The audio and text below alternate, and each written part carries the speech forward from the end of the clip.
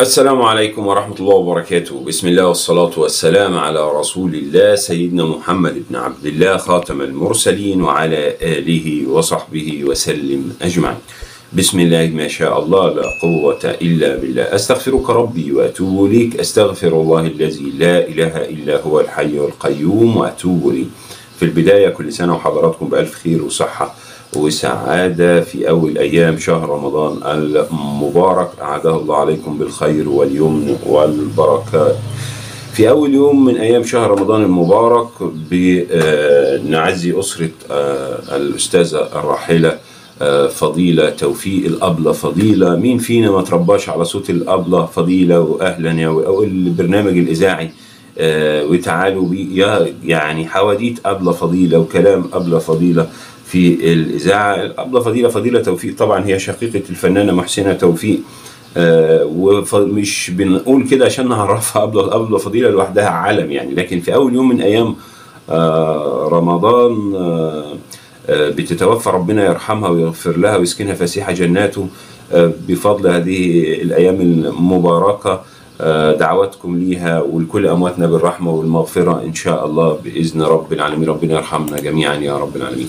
النهارده كان في حوار إذاعي مع وزير الشباب والرياضة الليسي خلال وزارة من خلال إذاعة الشباب والرياضة مع وزير الشباب والرياضة الدكتور أشرف صبحي يتطرق للعديد من الملفات فيما يخص الرياضة المصرية ومرتضى منصور واتكلم عن الحضور الجماهيري لمباراة النادي الأهلي.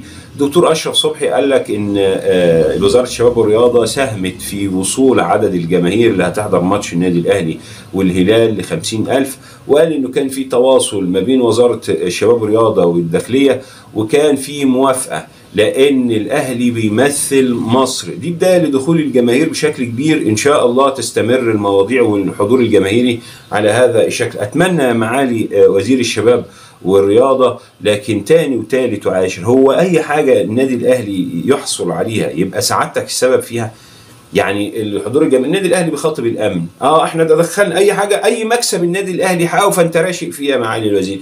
الأهلي خد قرض. قال لك إحنا ساهمنا في النادي الأهلي إحنا وقفنا جنب النادي الأهلي. فاكرين طبعا والزملكاوي مرتضى منصور كان كل شوية يطلع يقول لك آه ده الوزير ساعد الأهلي. على الرغم الوزير قعد مع ساسي الوزير قدم 100 مليون للزمالك فلوس دعم. أنا لما طلبت قرض إجراء قانوني والمفروض يعني لو الوزير ما أشرش وده أمر طبيعي النادي الأهلي لو تاخدنا بأي طلب للبنك يحصل على قرض هيحصل من هو مين أكتر نادي في مصر إن البنوك تامنوا على وتدي له قرض يعني والبنوك ضامنة فلوسه النادي الأهلي. لكن الوزير إزاي؟ إحنا ساهمنا ودعمنا النادي الأهلي ووقفنا جنب النادي الأهلي وخد قرض مش عارف بكام. ده إجراء روتيني يا معالي الوزير. سعادتك يعني إجراء روتيني. حضرتك بتقول لك يعني بما إن الأندية ديت تتبع الدولة وإنت اللي بتشرف عليها كوزارة الشباب والرياضة فإنت لازم توافق النادي الأهلي أو غيره من النادي ياخد قروض لكن افرض إن النادي الأهلي نادي واقع وافرض إن النادي الأهلي مفلس وافرض إن النادي وإنت اديتني موافقة إن أنا آخد قرض البنك درس الموضوع لا النادي الأهلي لا ما ينفعش. مش هديك قرض حضرتك تبقى ساعدت؟ إيه له مساعدة في كده؟ الامن بعت للداخليه إحنا ساهمنا لكن أي حاجة هو أنا بساعد النادي الأهلي وخلاص يعني. على الجانب الآخر بقى إعلام نادي الزمالك آه الوزير واقف وبيدمرنا وبيدمرنا إيه؟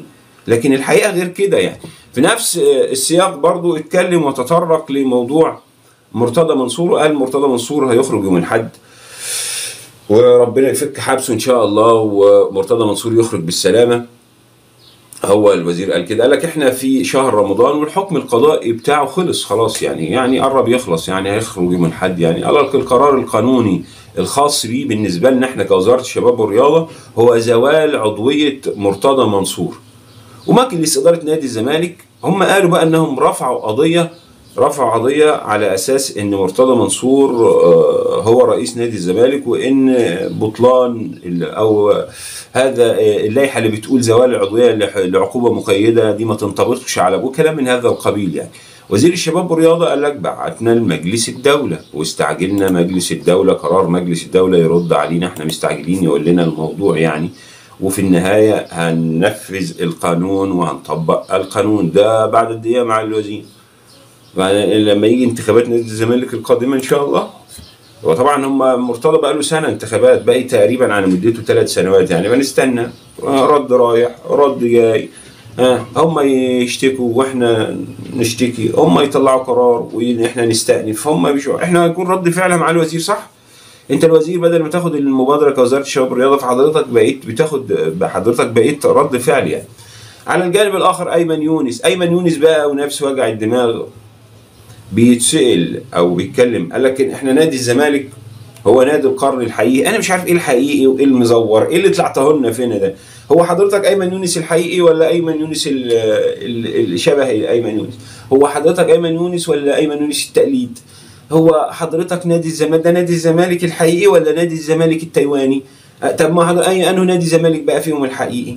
فين إيه الجمله إحنا نادي القرن الحقيقي؟ هو النادي يعني الحقيقي اللي أعرفه هو اللي يملك اللي يملك الجائزة من الجهة المانحة. ده اللي نعرفه إحنا الحقيقي. أنت النهارده دكتور أقدر أقول عليك دكتور حقيقي أنت معاه واخد شهادة من كلية الطب بتقول إن أنت طبيب. أقدر أقول عليك الدكتور أأكد إن أنت طبيب حقيقي. ما أنت طبيب ما أنت معاك شهادة. أنت الطبيب الحقيقي. أنت الطبيب الحقيقي. انت أنت الحب الحقيقي.